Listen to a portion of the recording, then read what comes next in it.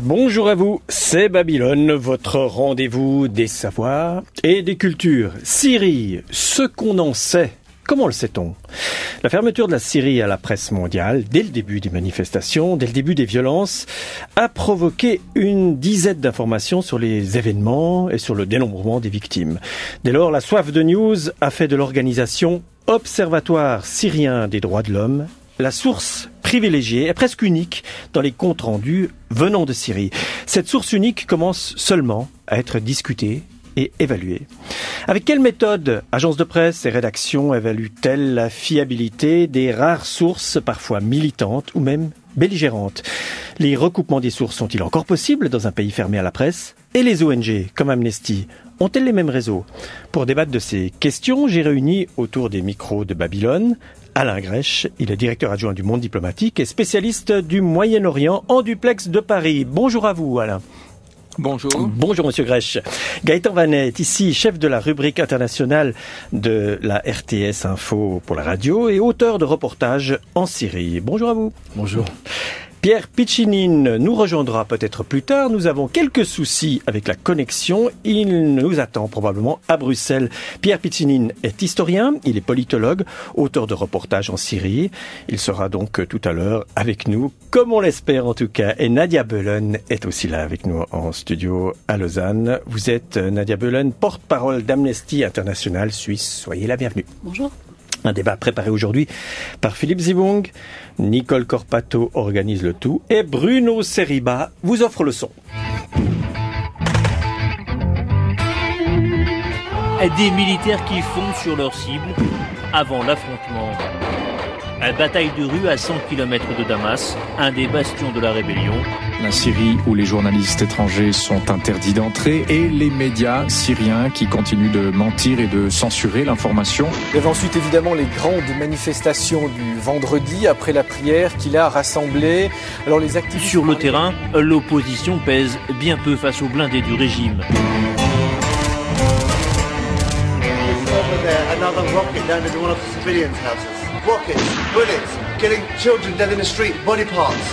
Rockets, bullets, killing children dead in the street, body parts. Why isn't the world helping us? Where's the humanity in the world? Des activistes essayent pourtant de transmettre l'information, de transmettre des images des manifestations contre le régime, par exemple, via Internet, via les TV satellitaires. Quatre jours après leur ultimatum du Caire, les dirigeants de la Ligue arabe. C'est ici qu'est tombé le missile. J'envoie un appel à l'Union européenne. Notre sang s'est mélangé au vôtre. Il faut intervenir immédiatement pour nous sauver et faire tomber Bachar al-Assad.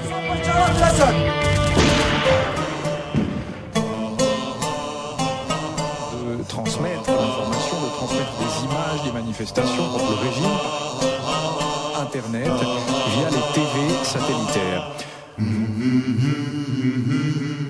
Où les journalistes étrangers sont interdits d'entrer.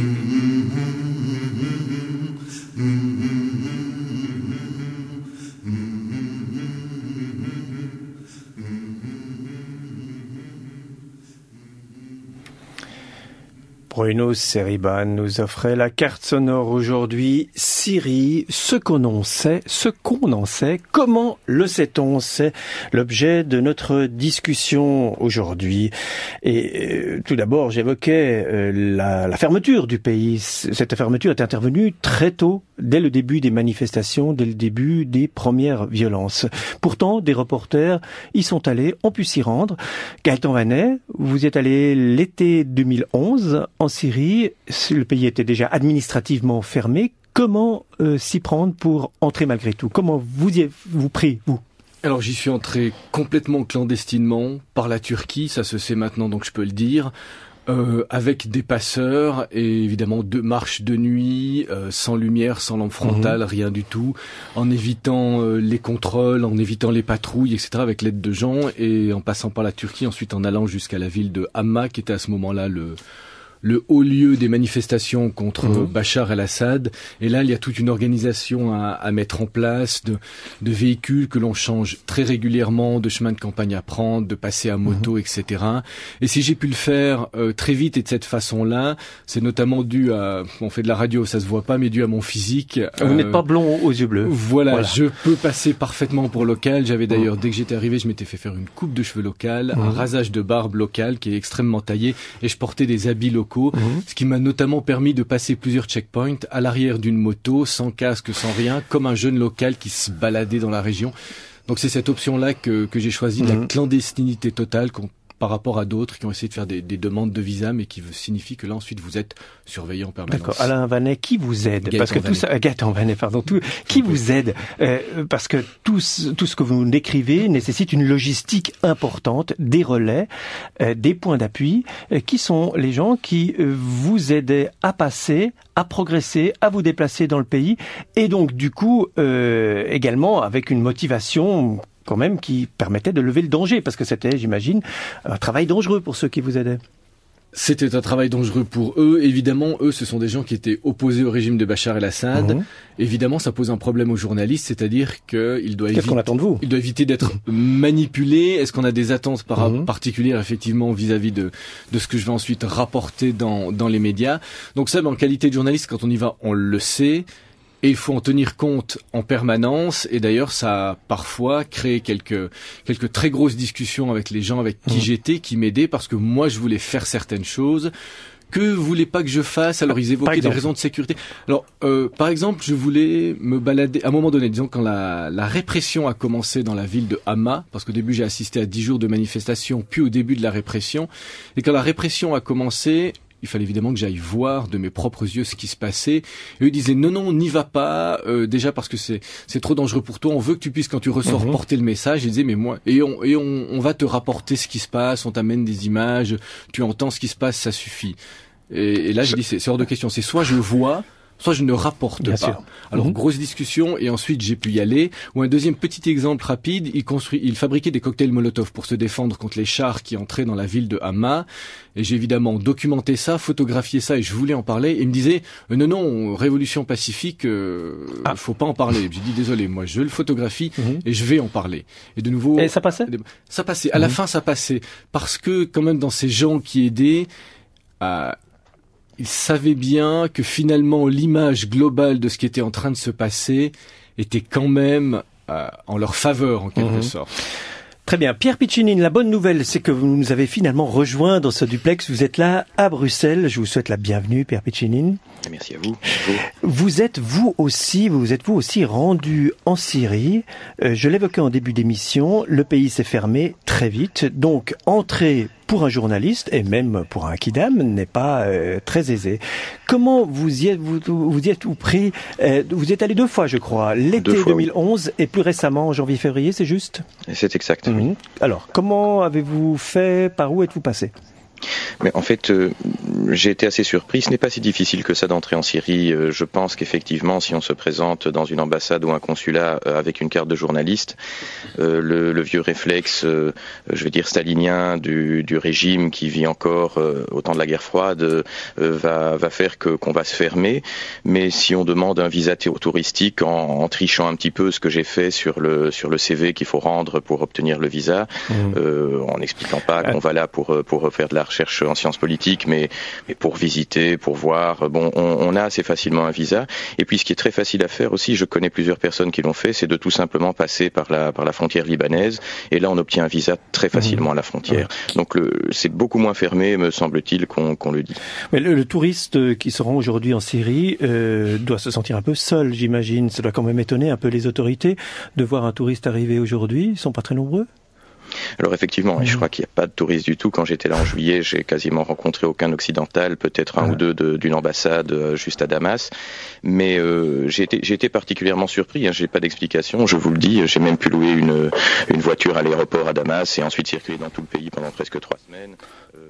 Je suis allé partout. Il y a que la zone du Golan qu'on m'a interdite Mhm. pour, pour des raisons de, de sécurité liées à la frontière israélienne. Mais j'étais à Dera, euh, Deir ez-Zor, Gizer al-Shugur. Je suis entré dans Hama, l'Arménie n'y était pas. Je suis entré dans Homs. C'est, c'est, ça m'a surpris. Encore ici récemment, j'ai pu, j'ai pu entrer dans, dans Homs, rencontrer Fatwa Soudeyman, la porte-parole des, des rebelles. Oui. Euh, entrer dans Hama également. euh, un vendredi, jour de grande manifestation, on m'a jamais arrêté. Donc la situation que vous décrivez, elle n'est temporellement pas dans, dans le même calendrier que ce que racontait Gaëtan Vanet, mais évidemment ce sont des conditions qui sont totalement différentes. Alors vous avez, vous avez besoin d'aide pour euh, vous déplacer? Vous preniez le car local? Euh, Comment ça se passait? Non, pas du tout. J'ai loué une voiture, comme je le disais, à l'aéroport de Damas. C'est c'est très facile et, et j'ai pu Ah. me déplacer partout seul. Merci Pierre Pichinine. Euh, Alain Grèche, vous êtes en duplex de Paris. Euh, comment vous êtes-vous rendu en Syrie? Je crois que vous y êtes rendu aussi euh, ces derniers mois, c'est oui, juste? à peu près à la Mhm. même période, c'est-à-dire l'été 2011. Mhm. Et alors là, contrairement à mes confrères, j'ai eu un visa journaliste.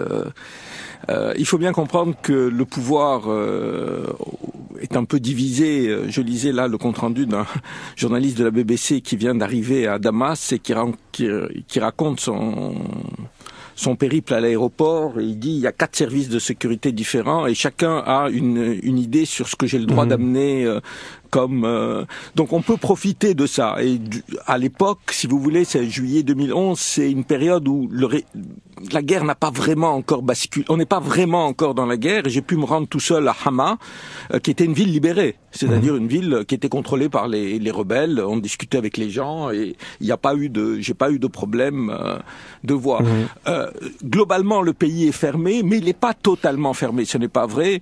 Par exemple, quand il y a eu les- les- euh, pour la Constitution qui a donné lieu à un résultat euh, un peu moins bon que ceux qu'ils obtiennent d'habitude, c'est-à-dire pas 99% des voix, il y a eu beaucoup de journalistes turcs qui étaient présents.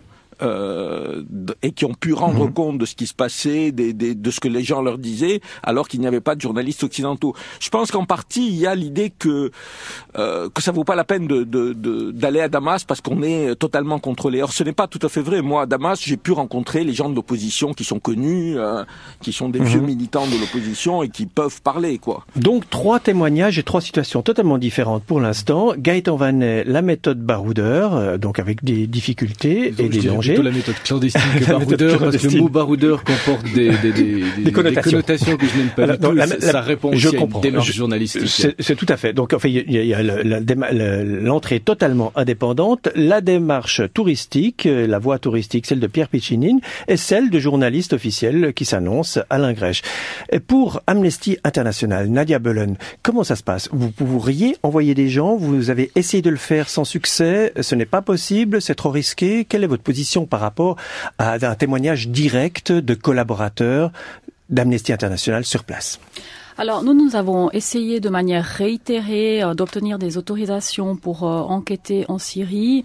Nous ne les avons pas obtenues Comme Amnesty donc. en tant Mhm. qu'organisation, effectivement. Et donc nous n'envoyons pas de manière euh, clandestine des chercheurs en Syrie pour cette raison, pour des Jamais. raisons de sécurité, non. Mais nous, si nous n'obtenons pas une, une Mhm. autorisation, mais nous avons, nous avons d'autres d'autres méthodes d'enquête et nous enquêtons aux frontières libanaises, turques et jor- jordaniennes euh, sur la base de témoignages et nous recoupons ces témoignages avec des témoignages de proches et avec des membres de notre réseau. Euh, et puis euh, nous avons un savoir-faire dans le recoupement de ces différents types de témoignages et puis ça donne une image précise en termes de mort, en termes de torture, d'actes de torture et de mauvais traitements. Ce réseau, c'est Amnesty qui l'organise ou il reçoit le réseau tout fait de, de relais sur place? Le Non, c'est un réseau qu'Amnesty a de longue date et euh, que Amnesty Comme euh, dans tout alimente. pays non démocratique, bien sûr. Exactement. Mhm, mhm.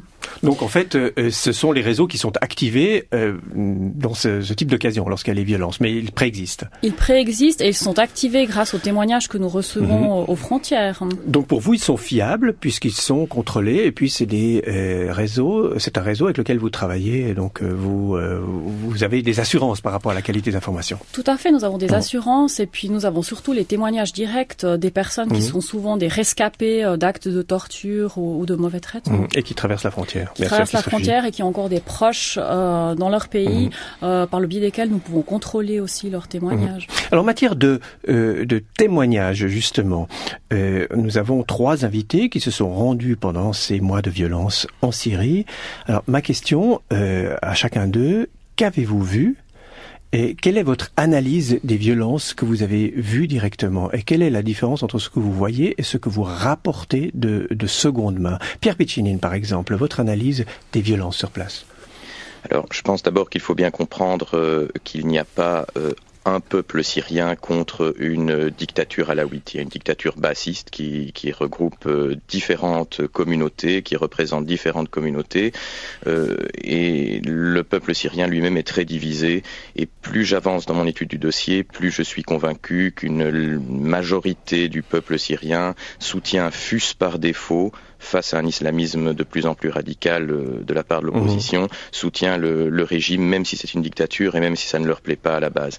Euh, les violences, d'autre part, sont sur quoi, très, très sur quoi repose cette interprétation, euh, Pierre Piccinine donc j'ai rencontré beaucoup de gens, notamment euh, ici en, en, en janvier. Euh, j'ai rencontré les, les, chrétiens, les différentes communautés chrétiennes, y compris les autorités comme le patriarche orthodoxe grec à Damas. J'ai pu interviewer euh, des, des, gens de ces différentes communautés et, et la plupart d'entre eux me disent nous au début en mars on était dans les manifestations, on, on, on voulait des changements démocratiques, mmh. mais euh, très rapidement on a vu une opposition s'armer. Moi je l'avais déjà remarqué à Homs en, en juillet. Euh, on, a vu euh, des, des, violences atroces se commettre. Euh, il y a des groupes salafistes qui parcourent le pays. On retrouve parfois des gens, des, des, euh, des gens qui s'opposent à ces groupes salafistes dans des sacs sur les trottoirs, coupés en morceaux. Il y a des atrocités indicibles. Mmh. Euh, J'ai vu des choses. Souvent, elles sont imputées aux, aux forces syriennes officielles. Euh, disons que c'est ce que la source unique, euh, quasiment des médias, à savoir euh, l'Observatoire syrien des droits de l'homme, euh, voilà, diffuse comme information. Je peux vous dire que ce n'est pas le cas. donc, on a on a une opposition mmh. qui est plurielle, qui est très divisée, avec des gens tout à fait honorables comme ceux que j'ai rencontrés à Homs, cette opposition citoyenne très touchante, et puis des gens qui ont qui viennent parfois de l'étranger, qui ont parfois des des objectifs très différents. Mais cette, mmh. cette violence est très localisée. Si vous vous promenez dans Damas ou dans Alep, à des résorts par exemple, ou, ou maintenant même à, à Dera, euh, c'est assez calme. Mmh. Il, il, il, ne se passe rien. Donc Dera tout au sud, qui est en fait le foyer euh, de, de ces le point de départ, de, ces, point de, départ de, de, ces, de ces violences. Gaëtan Vanet, alors la même question, qu'avez-vous vu? Quelle est votre analyse des violences? Et comment établissez-vous un bilan? Parce qu'en tant que responsable de la rubrique internationale de, de la radio, vous devez bien, à un moment donné, annoncer des chiffres. Enfin, peut-être que vous y êtes conduit. Comment, euh, sur quelle base les évaluez-vous ces chiffres Évaluez-vous leur euh, la crédibilité de ces chiffres? Bah, Donc déjà, juste pour le contexte, effectivement, mon départ en Syrie s'est fait sur une frustration de de ne pas savoir véritablement ce qui se passe, parce mmh. qu'on a évidemment les propos du gouvernement syrien, on a les propos de, disons globalement l'opposition pour euh, simplifier le propos, avec ces images qui mettaient notamment sur Internet ou ces communiqués qui mmh. venaient de l'Observatoire syrien des droits de l'homme, mais Déjà, quand on cite tout ça, on est obligé de les sourcer. Et d'ailleurs, quand ils donnent des chiffres extrêmement précis, genre euh, actuellement 6293 morts civils ou quelque chose comme ça, euh, moi, je me demande comment ils arrivent à un, à un, comptage aussi précis dans un contexte comme celui-ci, où les violences sont effectivement euh, ponctuelles, euh, dispersées à travers mmh. le pays, où c'est quand même pas facile de communiquer. Donc la précision n'est pas très importante, c'est l'ordre de grandeur, de parce grandeur, que c'est pas les trois oui. morts en plus ou en moins qui vont faire que, que l'opinion euh, internationale est, oui. est, choquée. Donc est-ce qu'on est, qu est, dans les clous pour l'ordre de grandeur? Est-ce qu'il est plausible? Est-ce que bah, honnêtement, il est crédible? Honnêtement, je ne sais pas. Donc ouais. on donne ces chiffres euh, en les sourçant, toujours en citant la source de, en, de, en, citant toujours la source, systématiquement euh, la source. Le, le, il y a cet observatoire, observatoire des droits de l'homme. Il y a aussi ce deuxième groupe qui, si ma mémoire est bonne, j'ai un blanc, s'appelle Avas. Et, et c'est un peu tout. Effectivement, mmh. c'est les seules sources que l'on a. Et on, et on, a aussi l'ONU maintenant qui fait ses rapports et qui Mais donne, que, sont et les qui, sources de et qui donne des, des, chiffres. Alors, de nouveau, voilà. effectivement, il faut vérifier Donc, quelles sont les sources de l'ONU. On est, on est dépendant de ces informations-là et on est, on est frustré de cela. Et d'ailleurs, quand je suis allé sur place, c'était bah, issu de cette frustration. Ensuite, pour évidemment, mmh. euh, c'est la démarche professionnelle qui, qui suit. Et l'idée, c'était d'être avec cette opposition citoyenne. C'est pour ça d'ailleurs pas de visa mmh. parce qu'ils voulaient pas quelqu'un qui a eu un contact officiel pour entrer dans le pays. Et même même quand on est sur place, je me dis, ben voilà, Amma, j'ai assisté à dix jours de, de démonstrations, de manifestations pacifiques, et au début de la répression sur la ville par l'armée syrienne, qui, qui surveillait la mhm. ville de Hama en permanence, même s'il l'avait laissé libéré au centre où il pouvait manifester, et même là, après ces premiers jours de violence, il m'était impossible de faire un décompte précis des victimes, parce que vu la clandestinité, l'accès aux hôpitaux était, était très limité parce que les hôpitaux étaient surveillés. Donc même quand on est à un endroit précis, qu'il se passe quelque chose, en l'occurrence une répression sur des, sur des civils, on peut pas donner un bilan très précis. Donc il faut vraiment, en tant que reporter, là j'étais en tant que reporter, euh, dire ce que l'on a vu strictement pour s'en tenir à une démarche journalistique. Mais en, justement, démarche journalistique dans les médias, on entend très souvent, y compris à la radio suisse romande, dans les bulletins d'information, on entend très souvent des chiffres cités. Euh, ils sont sourcés. En général, le, on bascule volontiers entre l'indicatif et le conditionnel. Hein, donc c'est une chose qui est, qui est parfois. Euh, il faut prendre des décisions là. Donc en tant que chef de rubrique, vous devez les prendre ces décisions. Là, ce sera l'indicatif. Là, ce sera le, si on met la source, le conditionnel. Euh, si on met la source, on peut mettre l'indicatif. Il y a X morts selon l'Observatoire syrien des droits de l'homme. Par contre, dire euh, il y aurait 6000 morts, pour moi, c'est pas mhm. correct. Parce qu'on n'a aucune idée d'où ça vient. On a beau mettre un conditionnel. Euh, je suis pas sûr que la nuance soit faite à l'écoute. Tout ce qui va être retenu, mhm. c'est Syrie, 6000 morts. Or, donc ça, j'ai presque envie de dire, on n'en sait rien. Donc, à RTS, on ne mange pas de ce pain-là, pas de conditionnel. Il y a l'indicatif et la source. C'est une, une, méthodologie. Alain Grèche, votre évaluation des, euh, je salue violences. La, radio suisse romande pour cette euh, la manière de présenter les choses, parce que c'est pas du tout le cas des médias français qui présentent ah les, les, données de mort comme euh, quelque chose d'absolument acquis. Il faut qu'ils nous écoutent. oui, il y a 7000 morts, il y a 7500 morts. Alors des fois on mmh. dit l'ONU, des fois on dit l'Observatoire des, des droits de l'homme. Tous les jours, on nous donne des chiffres 43, 56, comme si euh, il était possible dans la situation actuelle syrienne de donner de donner ces chiffres. Si vous voulez, ce qui rend le le travail du journaliste difficile est euh, la contradiction qu'il y a entre l'émotion due à la répression terrible menée par le régime, et je ne pense pas qu'on puisse renvoyer dos à dos le régime et l'opposition. C'est le régime qui est à l'origine de, de, de, ces violences, c'est le régime qui a initié ces violences, c'est le régime qui utilise la torture à grande échelle, etc. Mhm. Donc ça, c'est incontestable, et une espèce de propagande comme ça, qui fait comme si, d'un côté, l'opposition n'était pas armée, ce qui s'est passé à Hama en partie, c'était des, des, combattants qui combattaient l'armée. Je veux dire, c'est pas honteux d'ailleurs d'être des combattants qui mhm. combattent une armée. Mais il faut un jamais, ça Mhm. ça n'était euh, jamais dit.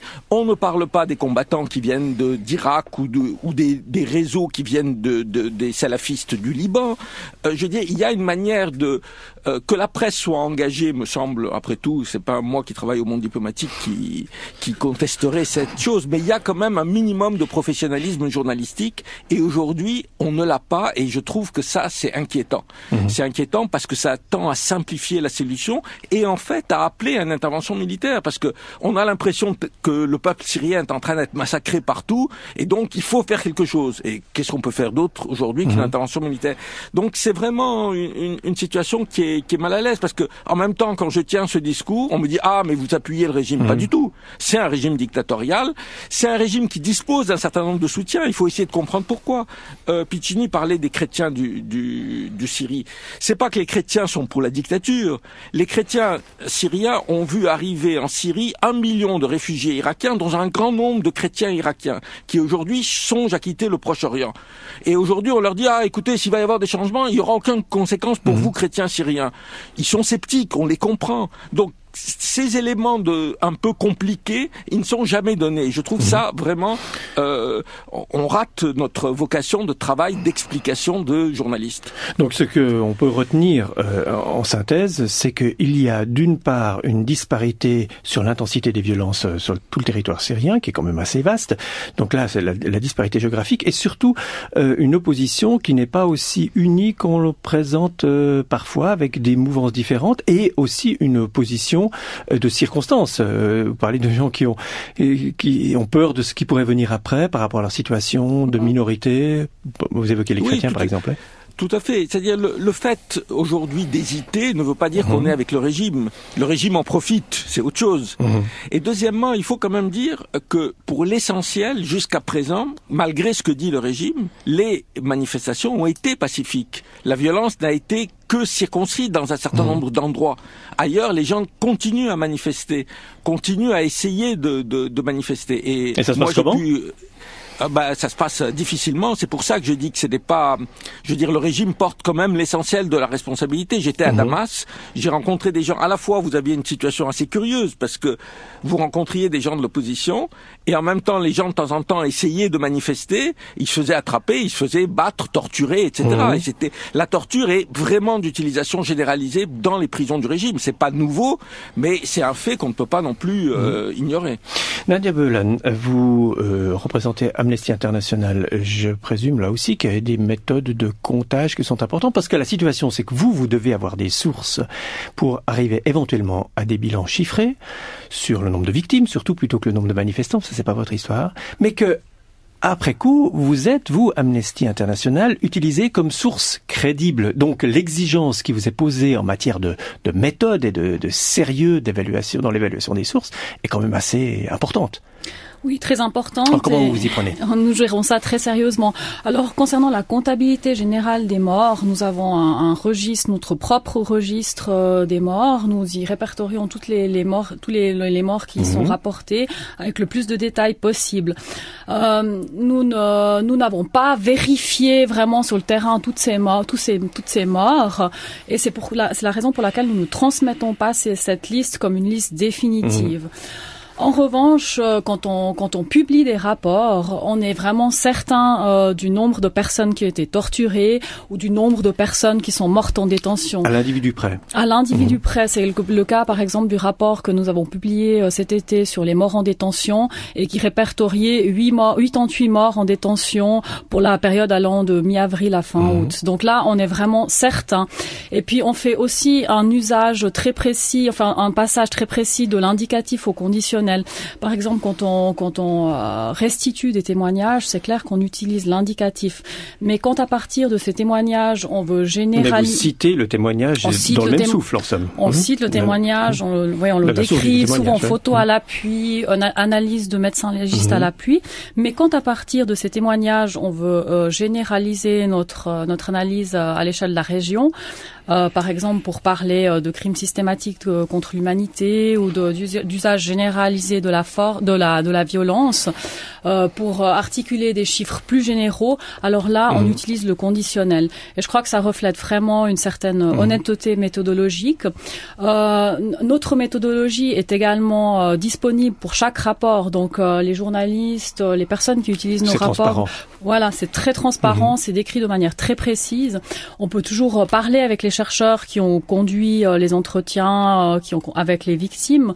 On peut souvent aussi parler avec des victimes rescapées des violences. Donc pour nous, tout est très transparent et euh, ouais, Alors, décrit si- très précisément. Dans Babylone, Syrie, ce qu'on en sait, comment le sait-on? C'est l'objet de notre discussion, de notre débat, de notre échange. Alors nous avons parlé des conditions d'entrée pour avoir des témoignages de première main malgré tout, malgré la fermeture du pays. Nous avons parlé de l'évaluation, la façon de procéder à l'évaluation du nombre de victimes, par exemple.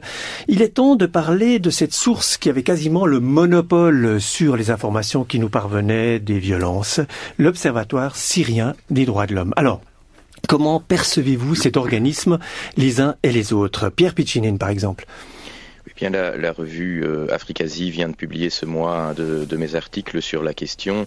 Euh, je pense qu'il était grand temps de s'intéresser de très près à cet OSDH. Donc, j'ai mené une petite enquête. C'était très facile de contacter les, les personnes euh, qui sont derrière cette, euh, ces, ces organisations. Je dis ces organisations parce qu'en fait, il y a deux OSDH.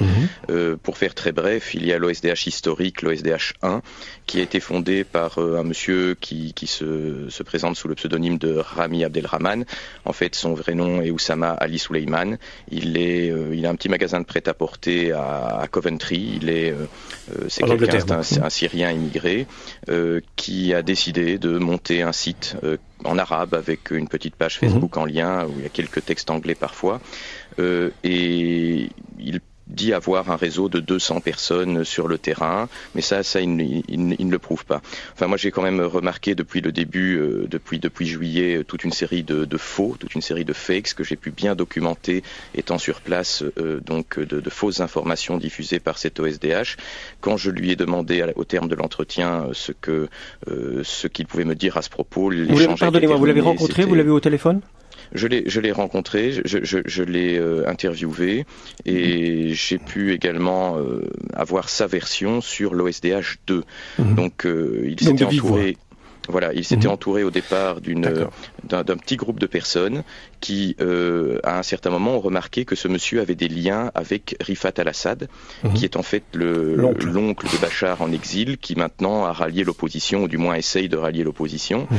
et se présente comme un président de transition possible. Alors, donc euh, voilà, alors le, cette, euh, ce fait, cette falsification que vous lui reprochez, quelle est, quelle est-elle, au juste? Oui, je, pourrais citer plusieurs exemples. Je vais en prendre un parmi parmi plusieurs que que, que j'ai publié déjà.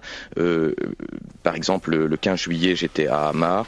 Euh, je suis entré euh, lors de la manifestation de, du vendredi. C'était un vendredi à la mi-journée, la grande manifestation de la journée. Sur la place à la Sidi, euh, la, place centrale, il y avait mmh. environ. Euh, moi, moi j'avais dit 10 000 personnes. On a fait le comptage d'après mes photographies et le film que les manifestants m'ont donné. On, on, on, est maintenant à environ 3 000 personnes.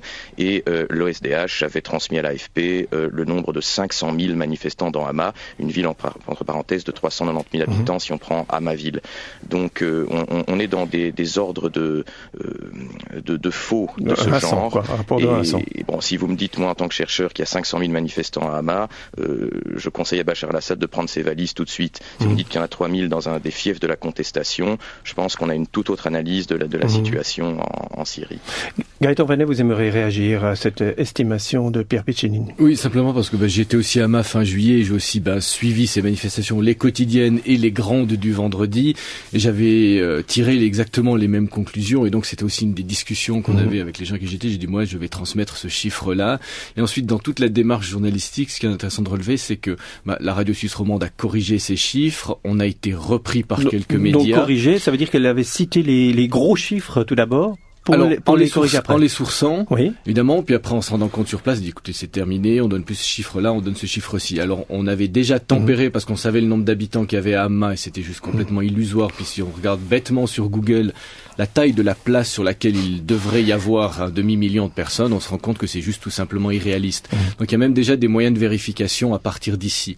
Puis ensuite, bah, la deuxième démarche, en étant sur place, je corrige le chiffre. Mais que vous avez euh, moyen de vérification que vous avez mis en œuvre après avoir cité le premier chiffre, quand même, parce qu'il faut aller vite, vite, vite. Il faut, il faut aller donner un chiffre. Le problème, c'est qu'il faut aller vite. On, on y viendra peut-être. Là, effectivement, à cette, à cette nécessité de rapidité qui conduit peut-être. On a dû, on a dû corriger le tir et ensuite ouais. être beaucoup, beaucoup plus prudent. Ouais il y a, y a, un phénomène où il faut effectivement on n'a pas toujours l'absolu euh, l'absolu rigueur. Mmh en permanence, tout d'un coup on corrige. Et donc cette correction et cette correction ensuite n'était pas simplement pour la suite de la de, démarche, euh, bah, corrigée peut-être par M. Piccini, corrigée par moi-même, mais beaucoup de médias continuer à mentionner le chiffre de mhm. l'Observatoire syrien des droits de l'homme sans euh, voilà faire référence à des travails du travail fait par des mmh. journalistes qui, qui, qui, corrigeaient la chose. Donc mmh. le, le, faux chiffre continue à être mhm. véhiculé pendant très longtemps. Monsieur Piccini, vous voulez préciser quelque chose par rapport oui, à ce que oui, disait Gaëtan Vanet Ce, ce que, que, dit Monsieur Vanet est tout, tout à fait correct, mais c'est vrai qu'en Suisse on est plus prudent quand on écoute des émissions de radio en Suisse, mais si on prend ce qu'on lit dans la presse et ce qu'on entend dans les médias euh, français, France 24 notamment,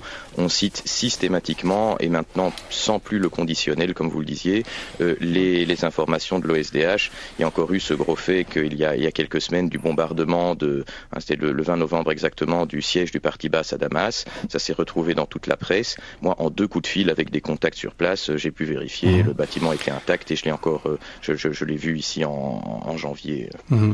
Alors cet observatoire syrien des droits de l'homme, euh, Nadia Belen, c'est une source, c'est un partenaire de longue date d'Amnesty International. Oui, alors euh, nous, nous travaillons avec euh, l'Observatoire syrien des droits humains numéro 1, comme l'a dénommé Monsieur Pichinin, depuis 2007. Mmh. Et euh, nous considérons... Euh, c'est l'originel, c'est celui de ouais, Rami Abdel celui... Rahman, Exactement. avant la scission. Exactement. Déjà. Et euh, nos chercheurs continuent de, de considérer Monsieur Rami Abdul Rahman comme une personne fiable, même s'il a pu peut-être commettre des, des, des, des erreurs Euh, de toute façon, euh, nous ne considérons pas euh, ce genre de source comme une, une, une source primaire. Pour nous, c'est vraiment une source secondaire qu'on observe, à laquelle on a recours, mais nous effectuons ensuite nos propres mmh. recherches et nos, en fonction de notre propre mmh. méthodologie, en s'appuyant sur notre propre méthodologie pour arriver à mmh. des conclusions. Et puis il y a d'autres sources secondaires, le Centre de documentation syrien des violations, par exemple, le Comité syrien des droits humains que nous consultons.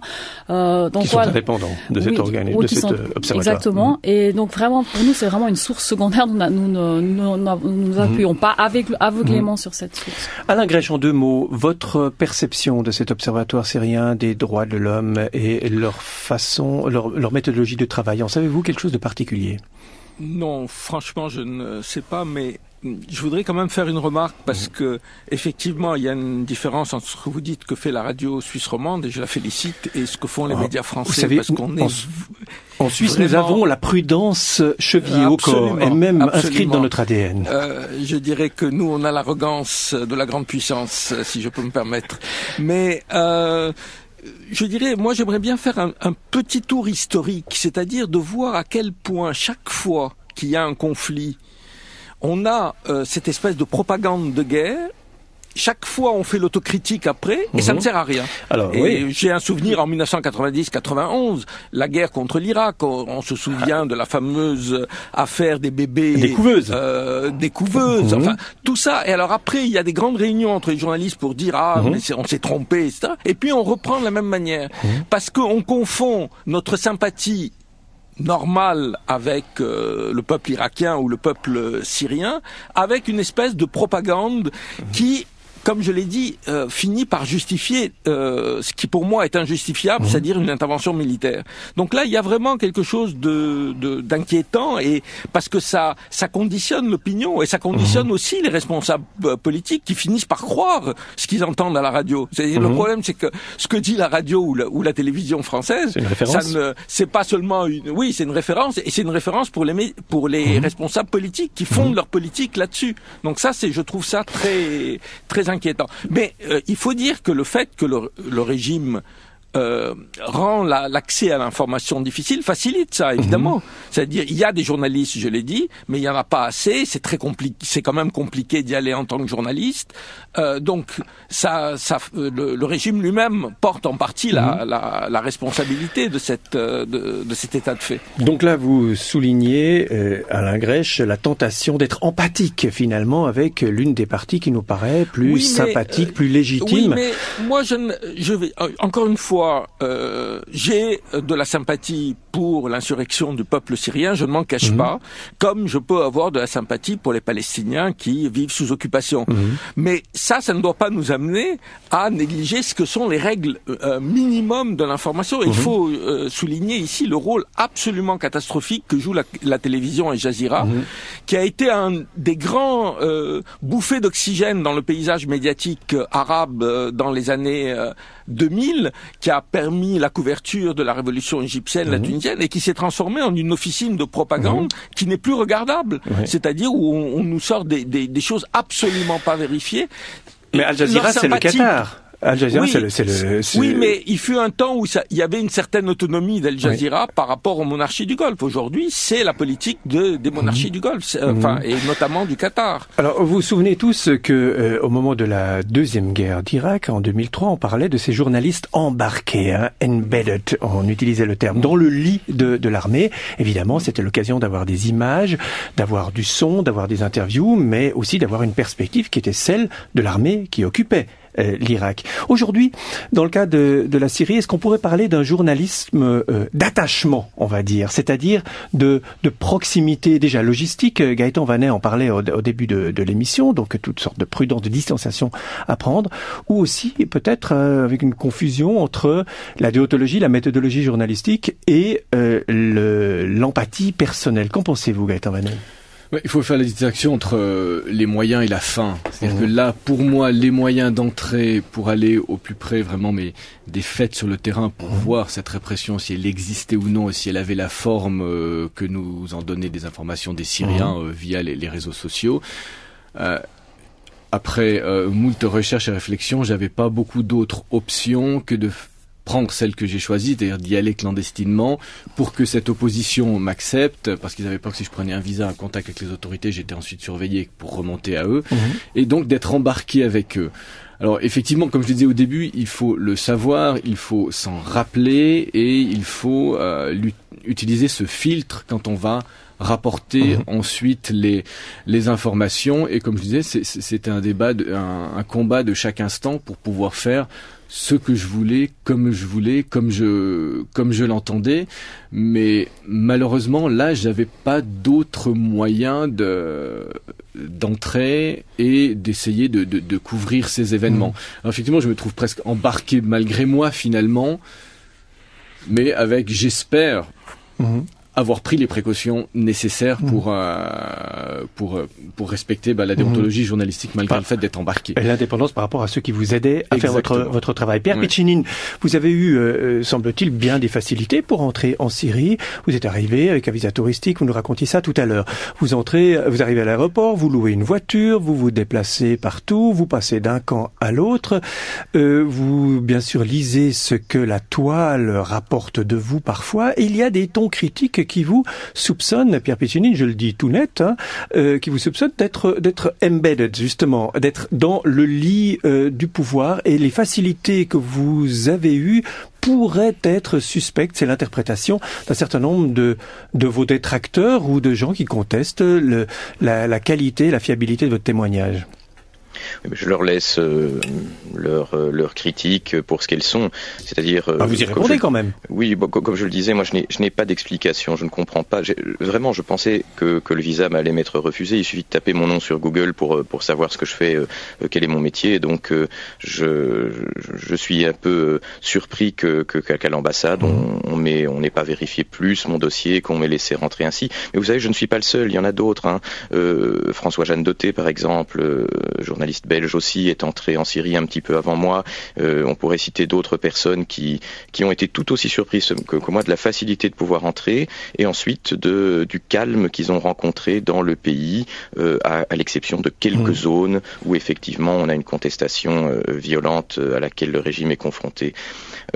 mais je pense que ce qui dérange peut-être aussi mes détracteurs, c'est que je ne sois pas aux ordres de ce politiquement correct qu'on qu'on attend de, de, gens qui pratiquent mon métier euh, en France et en Belgique, où dès qu'on dénote un petit peu sur la Syrie, on est considéré comme des, des partisans du régime, ce qui n'est évidemment pas le cas. Mais vous avez l'impression, Pierre Piccinine, vraiment que dans les nombreuses rédactions, euh, qu'elles soient audiovisuelles ou qu'elles soient de la presse écrite euh, d'Europe occidentale, par exemple, qu'il y a un mot d'ordre qui traverse les rédactions Mot d'ordre répercuté sur chacun des journalistes. Tout le monde est aligné, couvert. On présente les choses de cette façon-ci et pas de cette façon-là. Est-ce que c'est, vous pensez, l'expérience des euh, centaines de journalistes qui travaillent en Europe dans les différentes rédactions? Est-ce que c'est comme ça que ça se passe selon vous? Bon, je vais pas, euh, pas, je ne pense pas du tout. Non, c'est-à-dire qu'il y a des, des lignes éditoriales effectivement, et dans certains certains journaux, dans certains euh, médias, c'est ainsi que ça se passe. Mais je pense que des expériences comme celle de, de Gaëtan Vanet, il n'y en a pas beaucoup. Et mhm. si les journalistes avaient peut-être plus de moyens à leur disposition, parce que je pense qu'il y a un problème structurel aussi qui est financier à la base, euh, les rédactions pourraient envoyer plus de reporters euh, dans les conditions euh, qu'a connu M. Vanet et on aurait une mhm. vision quand même beaucoup plus juste de, de, du conflit syrien. Alors justement, Gaëtan Vanet, rassurez-moi sur ce qui se passe au sein de la rédaction de ma radio-télévision suisse romande que j'aime. Comment ça se passe? Est-ce qu'il y a des mots d'ordre dans, dans, dans, dans, les, dans les rédactions? Est-ce que par exemple un collaborateur qui dépendrait de votre service, qui serait votre subordonné, puisque vous êtes chef de la rubrique internationale, qui dirait oui mais tu sais Gaëtan, moi c'est pas ça que j'ai vu, j'ai vu autre chose, et puis j'ai vu que les manifestants étaient violents, que l'opposition est très dispersée, qu'il y a des tas d'endroits, des tas de régions de Syrie où tout est calme, tout va bien, on peut aller partout, on peut se déplacer librement. Celui qui arrive avec cette information-là, euh, il est à l'antenne. Il est à l'antenne. Il est évidemment à l'antenne et on a même encore eu récemment dans une de nos émissions politiques qui s'appelle Forum le soir, un euh, ici à Genève, un Syrien qui lui est un Syrien chrétien qui mhm. lui euh, a d'ailleurs parlé de voyage imaginaire en parlant de mes propres reportages, mhm. soutient le régime et on l'a écouté, on l'a entendu, on a écouté ses arguments. Je crois qu'il était dans infrarouge même, hein, je crois. Il, il a aussi allé à infrarouge sur la télévision suisse romande, effectivement, sur la RTS Info Télévision. Euh, donc oui, évidemment qu'on écoute ces positions-là et on prend aussi euh, des experts, bah, des experts qui ont des propos nuancés, qui mettent en place tout ce dont on vient de parler maintenant sur la, la mhm. complexité du, du conflit et, la complexité de la Syrie elle-même pour, euh, pour mhm. nuancer tout ça. On, évidemment qu'on on donne la mhm. parole à ces gens-là. Nadia Belen, d'Amnesty International, une précision. Oui, alors nous n'avons pas de parti pris, nous avons des, des exactions commises euh, contre les Shabia, ces, ces bandes armées pro-gouvernementales nous ont été rapportées et nous allons enquêter sur ces exactions. Euh, pour prendre un autre exemple, hein, le conflit libyen, euh, nous avons très tôt euh, répertorié des crimes de guerre commis mmh. par les par les forces anti-Kadhafi, donc nous n'avons pas de parti pris. Mmh. Mais pour l'instant, ce qu'on peut dire, c'est que les crimes contre l'humanité sont clairement commis en majorité du côté des forces armées pro-gouvernementales, des forces de sécurité, mmh. et puis des, des, des Justement, on parlait de tout à l'heure de, de ce, certain conformisme que certains d'entre vous déplore. comment Alain Grèche interpréter ce suivisme de la presse, puisqu'il n'y a peut-être euh, pas tellement de mots d'ordre dans les euh, dans les rédactions. Pourquoi euh, tout le monde dit la même chose, cite les mêmes sources, se s'entrecite Pourquoi est-ce que parce que pourquoi ce suivisme de la presse, un peu comme un banc de poissons, n'est-ce pas Quand un poisson tourne, tout, tout le banc tourne avec lui. Ça m'appelle une, une, une, anecdote que m'a raconté un ami journaliste soviétique durant la période de Gorbatchev. Ils envoient une délégation aux États-Unis pour étudier les, les médias. Euh, donc c'est une période d'ouverture en URSS et la délégation revient et un journaliste américain il leur dit mais qu'est-ce que vous avez pensé de notre système? Il dit c'est extraordinaire, il n'y a aucune censure et tout le monde dit la même chose. Et je crois qu'on est un peu dans cette chose. Évidemment, il n'y a pas de mot d'ordre au sens euh, euh, faites ça. Mais quand on regarde ce qui s'est passé en, dans la première guerre d'Irak, parce qu'elle a été peut-être la première guerre emblématique, parce que finalement on vivait la guerre en direct, puisqu'il y avait, c'était le début de CNN, etc.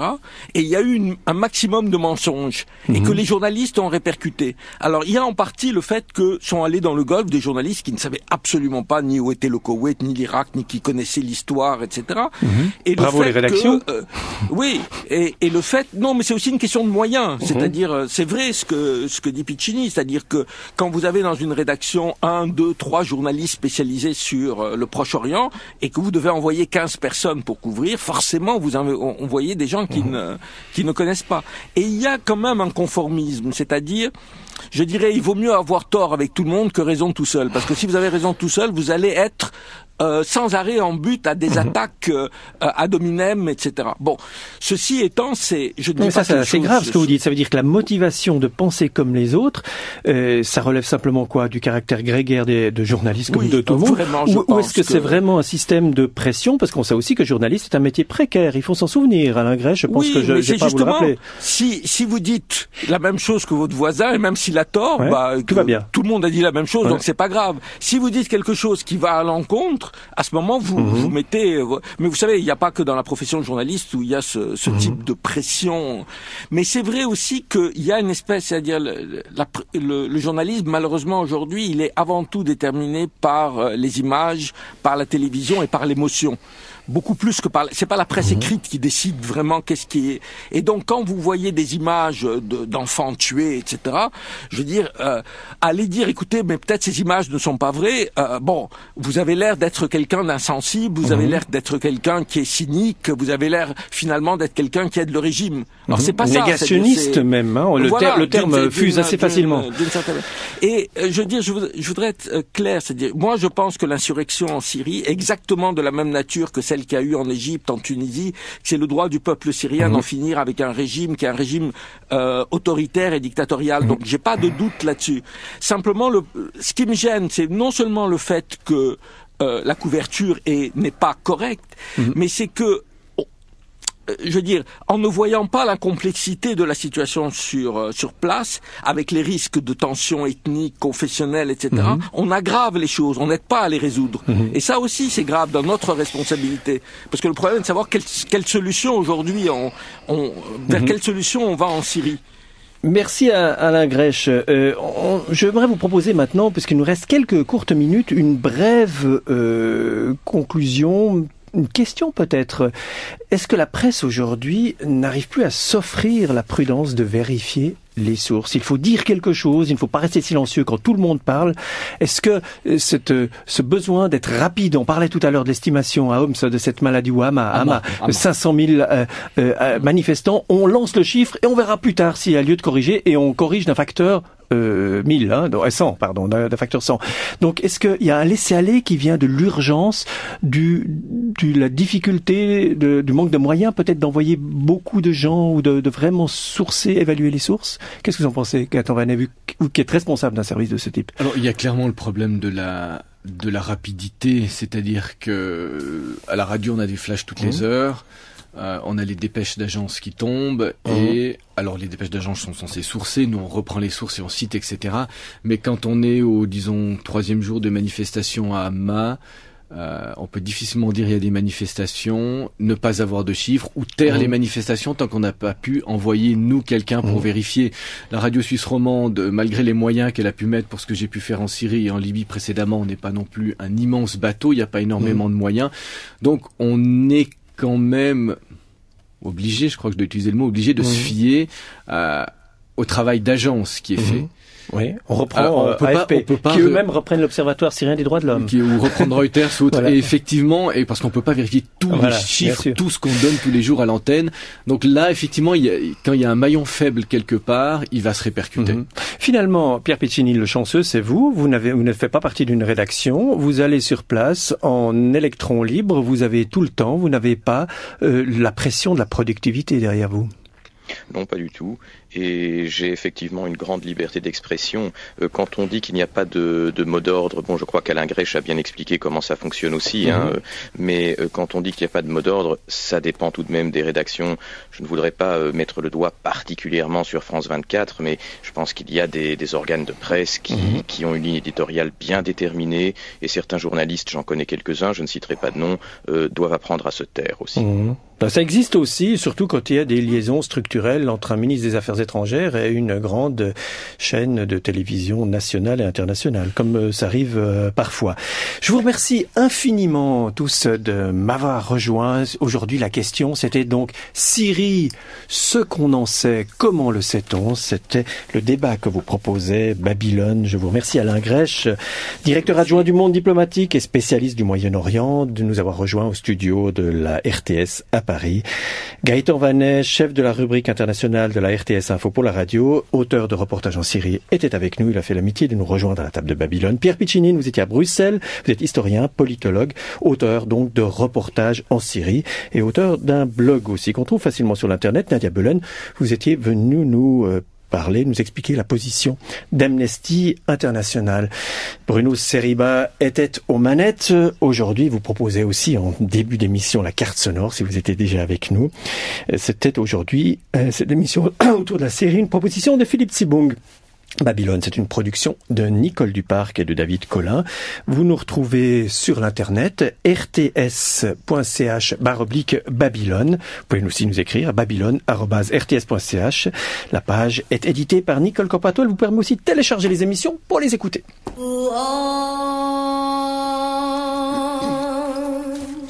Je vais